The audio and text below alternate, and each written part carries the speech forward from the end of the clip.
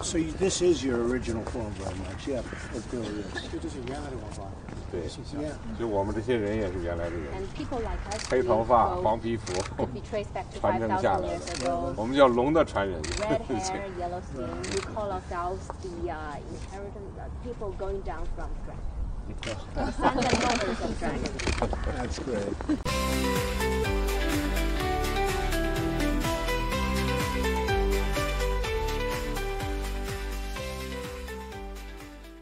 上面的视频来自二零一七年十一月，特朗普、川普作为美国总统访华，北京超高规格接待，故宫清场，习近平夫妇亲自陪同，一副与川普谈笑风生的模样。当时大家一度都觉得中美关系又要上一个新台阶。结果，川普返回美国后三个月，旋即掀起了贸易战。有人说，现在的形势是只要不更坏就是好。大家好，欢迎关注华尔街电视频道。本视频录制时间为美东时间十一月七日。这一期热点深度，借习近平向特朗普致贺电说开去，来讨论北京最高层应对特朗普第二任期。随着特朗普再次当选总统，中美关系的变化引起了全球的关注。而南华早报的独家报道称，早在二零二四年开春，习近平就下达指示，要中南海智库研究特朗普第二任期。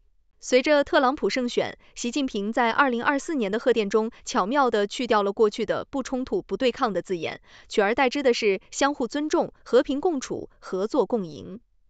这一变化不仅反映了中国对当前国际局势的敏感度，也暗示了对特朗普未来政策的试探。在过去的几年中，中美关系经历了巨大的波动，而习近平的贺电可以视为对特朗普政府可能回归的外交信号。特朗普在竞选期间提出的高关税政策及对华强硬立场，使得未来的中美互动充满变数。而习近平所强调的和平共处，或许是对美国不断升级的竞争态势的一种防范。在接下来的节目中，我们将详细分析这一贺电的背景、习近平的策略意图以及特朗普可能采取的对华政策。请大家继续收看详细内容。先来解读二零二四年习近平给特朗普的贺电。二零二四年十一月七日，特朗普宣布赢得美国总统选举后不久，中国国家主席习近平便向他发去了贺电。这一举动延续了二零一六年特朗普首次当选时的外交惯例。当时，习近平也是在特朗普宣布胜选后不久，通过电话方式表示祝贺。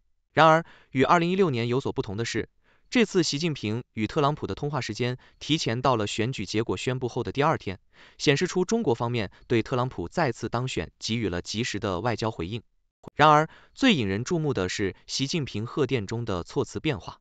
二零一六年，当特朗普首次当选时，习近平的贺电中强调了不冲突、不对抗、相互尊重、合作共赢的原则；而在二零二四年的贺电中，这一措辞有所调整，变为相互尊重、和平共处、合作共赢。看似微小的变化，却在外交语言中蕴藏着丰富的信息，值得我们深入探讨。要理解这一变化的意义，我们需要回顾不冲突、不对抗、相互尊重、合作共赢这一原则的历史背景。这个框架最早是在二零一三年习近平与时任美国总统奥巴马的庄园会晤中提出的，旨在构建新型中美大国关系。然而，从二零二一年起，习近平在与拜登的多次会晤中，逐渐转向使用相互尊重、和平共处、合作共赢这一新的战略框架。这一转变背后反映了中国在面对美国新一届政府时战略重点的微调。在分析人士看来，这一变化是中国对拜登政府竞争、合作、对抗三分法政策的回应。面对美国在经济、科技等领域日益频繁的对抗和摩擦，中国提出和平共处代替不冲突、不对抗，意在划定一条新的底线，防止双边关系进一步恶化乃至突破战争底线。和平共处虽不意味着完全的和谐，但在外交辞令中，它更具建设性和包容性。或许是希望在竞争态势下寻求稳定的中美关系。那么，这次习近平的贺电又传递了怎样的新信息呢？首先，这表明中国对特朗普政府可能延续甚至强化对华强硬政策的清醒认识。特朗普在竞选期间曾表示，他将采取更为严厉的对华政策，包括提高中国输美商品关税、取消贸易最惠国待遇，以及收紧对华关键技术出口管制等措施。这些政策若得以实施，势必对中美关系带来新的挑战。值得注意的是，特朗普的竞选承诺中也透露出一种交易性的思维模式。他曾表示对第一任期内的中美经贸谈判结果不甚满意，因此若重返白宫，他或将不再把关税作为谈判的筹码，而是直接作为实现其政策目标的手段。这一态度变化可能预示着中美在特朗普新任期内面临的经贸摩擦将更为直接和激烈。与此同时，美国战略与国际研究中心的一些专家认为，特朗普未来的对华政策仍存在多种可能性。如果他执行竞选中提出的严厉关税政策和科技限制措施，将对中国经济构成重大挑战。然而，若特朗普作为一个生意人重返白宫，可能在某些领域上表现出务实和灵活，反而为中美关系的稳定提供一定空间。习近平此次选择在贺电中强调和平共处而非不冲突不对抗，或许正是对这种不确定性的一种战略调整。中国希望通过这种姿态，倡导一种相对稳定的关系框架。以便在可能的危机中预留出谈判和调整的空间。总的来说，中美关系进入了一个新的复杂阶段。作为全球最大的两个经济体，中美关系的走向不仅影响两国本身，也在很大程度上决定了全球经济和政治格局的变化。习近平的贺电和特朗普的竞选承诺之间的交错，预示着未来的四年将充满挑战和不确定性。我们期待中美两国能在彼此试探和磨合中，找到一条能够合作共赢的路径。面对特朗普可能加码对华施压的前景，中方该如何应对？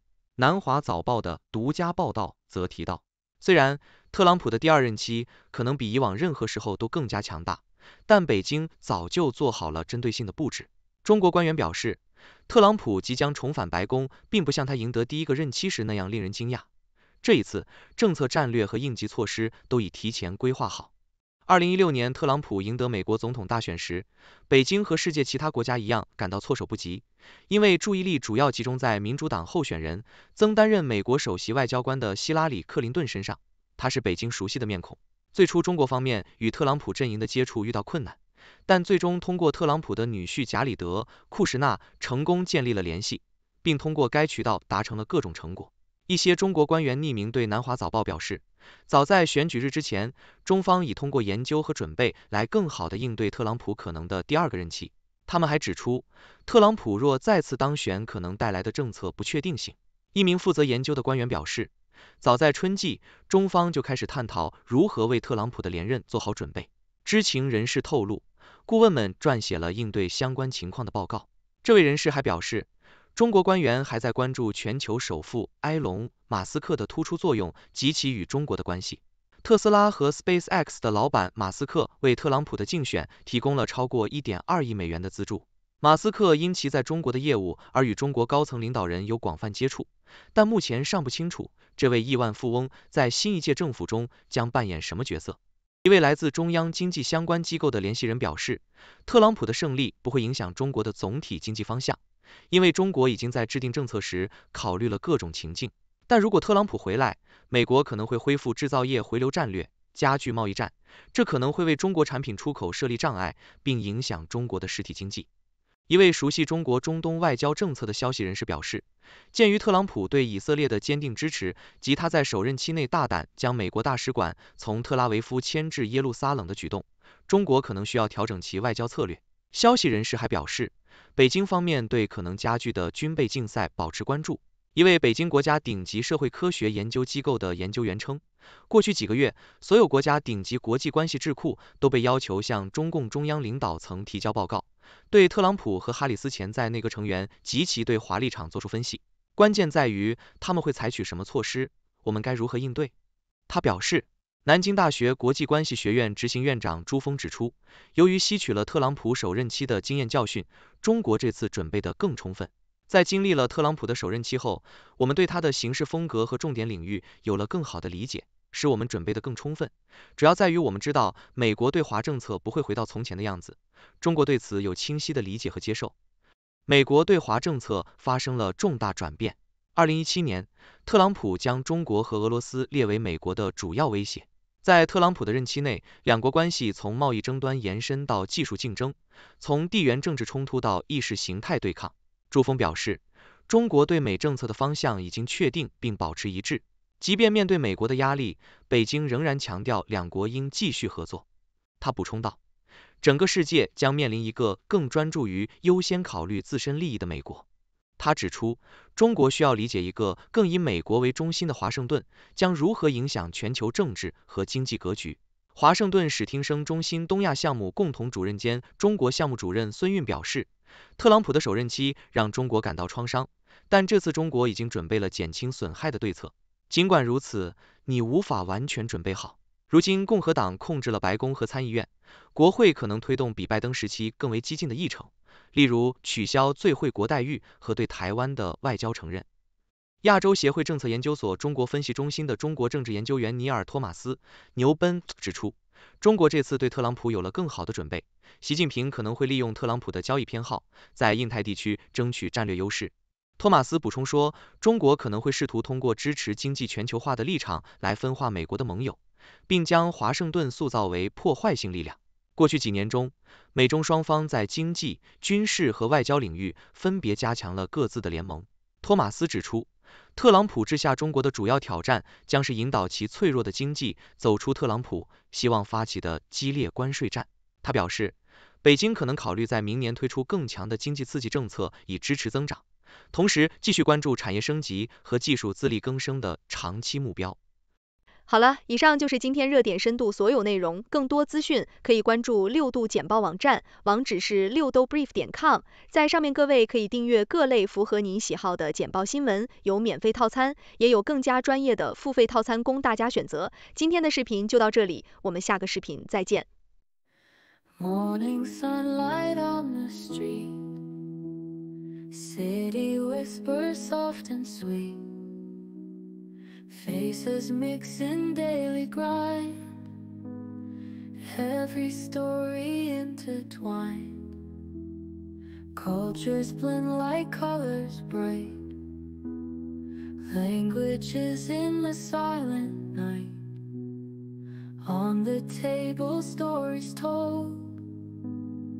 Food and feast upon so bold People living day by day in the heart they find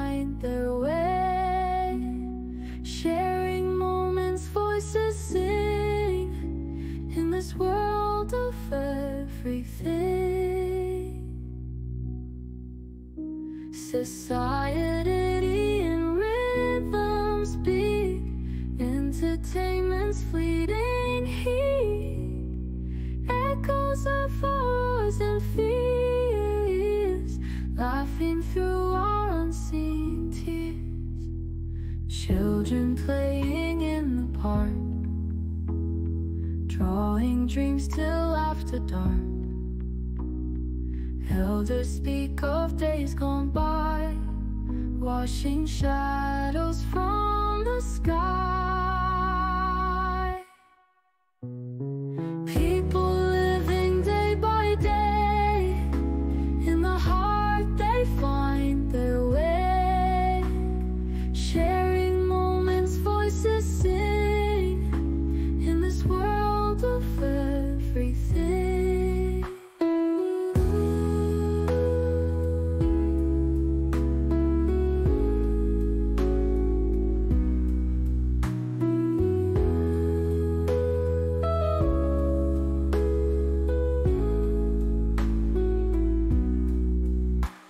the sun.